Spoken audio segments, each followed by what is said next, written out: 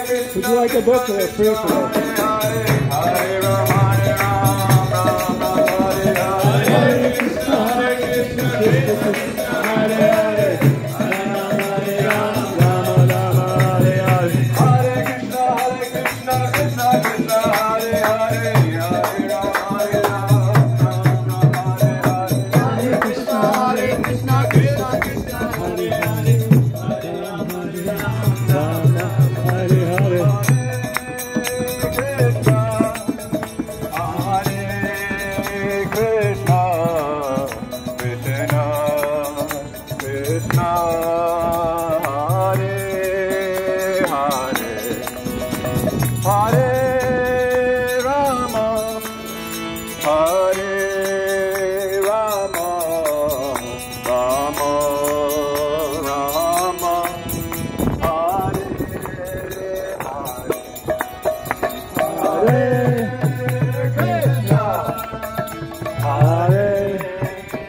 Krishna